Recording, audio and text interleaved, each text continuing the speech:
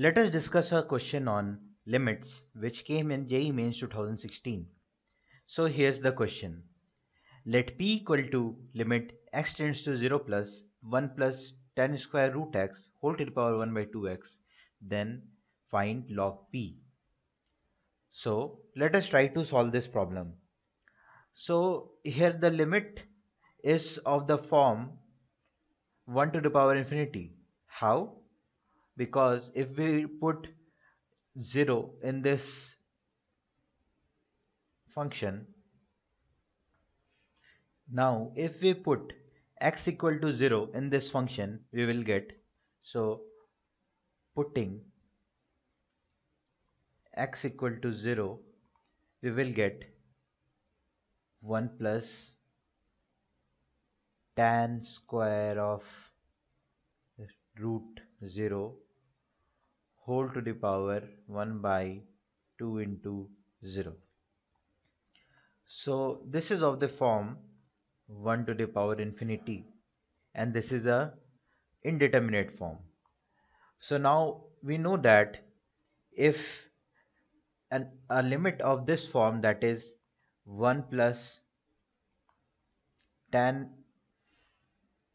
but we know that if a limit which is of the form limit x tends to a 1 plus fx whole to the power 1 by gx is of the form 1 to the power infinity then we can write this limit as e to the power limit x tends to a fx by gx. So we can write p as p equal to e to the power limit x tends to 0 plus tan square root x by 2x. So now we have to solve this limit. To solve this limit, we know another identity that is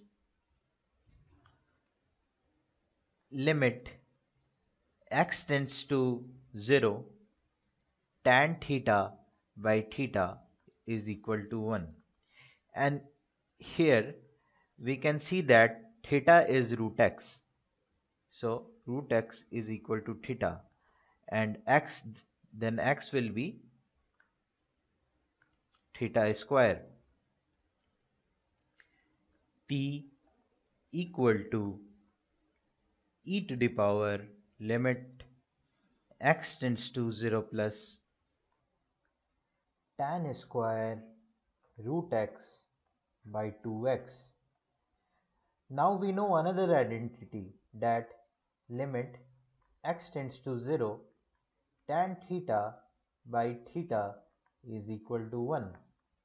Now in this limit we have theta is equal to root x and theta square is equal to x. So we can write p equal to e limit x tends to 0 plus tan root x by root x whole square into half. So now limit x tends to 0 plus tan root x by root x will be 1 from this identity. So we can write p equal to e to the power half. Further, if we take log on both sides, we will get log p is equal to log of e to the power half. Now, this log is the natural log with a base e. So we will get log of p equal to half. So finally, this is our answer.